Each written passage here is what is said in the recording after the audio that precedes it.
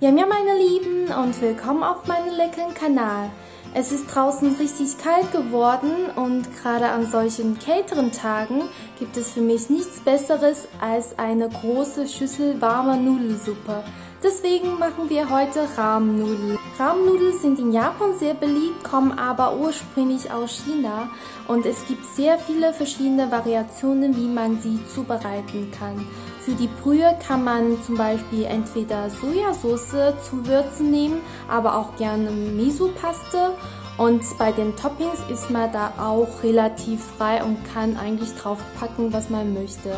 Da ich leider keine Miso-Paste mehr da habe, zeige ich euch diesmal die Sojasauce-Variante mit Schweinefleisch, Gemüse und Ei. Viel Spaß! Wie ich schon erwähnt habe, ist man bei den Zutaten relativ variabel. Ich habe mich für eine Schweinefleischbrühe entschieden mit Zuckerschoten, Karotte, Sojasprossen und Eier drauf. Wir geben zuerst etwas Öl in einen Topf und werden das Schweinefleisch darin leicht anbraten. Das überschüssige Fett bzw. Öl sauge ich mit etwas Küchenpapier auf und füllen den Topf nun mit Wasser voll. So viel, dass es das Fleisch knapp bedeckt. Zum Fleisch kommt noch etwas Lauchzwiebel dazu. Diese habe ich gewaschen und grob geschnitten. Dann noch zwei Knoblauchzehen und ein paar Ingwerscheiben. Das alles kommt in den Topf und wird zusammen mit dem Fleisch gekocht. Deckel zu und für ungefähr 40 Minuten köcheln lassen. Gerne auch etwas länger. Nach 40 Minuten holen wir das Fleisch raus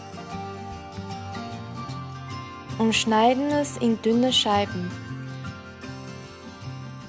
Die Brühe sieben wir einmal durch in einen anderen Topf und können diese dann anschließend würzen. Dafür nehme ich einen Esslöffel Salz, 4 Esslöffel Sojasauce für Ramen nehme ich gerne die japanische Sojasauce von Kikoman, aber ihr könnt auch gerne eine andere Marke nehmen. Einen Esslöffel Sake und zum Schluss noch einen Esslöffel Sesamöl. Optional kann man auch noch etwas weißen Pfeffer dazu geben. Dann ist unsere Brühe schon mal soweit fertig und kann warm gehalten werden, solange wir alles andere zubereiten. Bei den Zuckerschoten mache ich die Enden ab und ziehe die Sehne. Wie nennt man sowas beim Pflanzen? Ähm, jedenfalls ziehe ich das auch ab. Dann wasche ich diese natürlich und schneide die Enden nochmal schön. Anschließend werden sie dann kurz im Wasser blanchiert. Nicht zu lange, denn sie sollen noch grün und knackig bleiben. Die Karotte habe ich ebenfalls gewaschen und diese schäle ich dann mit dem Schäler in so dünne Streifen. Zum Schluss können dann die Nudeln gekocht werden. Diese brauchen nicht so lange, das sieht nach sehr viel aus, aber da sind auch ungefähr vier Portionen drin.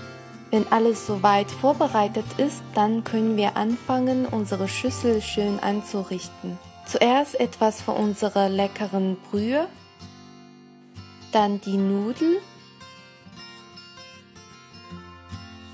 darauf kommen die Fleischscheiben, etwas Zuckerschoten für die grüne Farbe, für das Rot nehme ich die vorbereiteten Möhrenstreifen, diese werden zusammengerollt.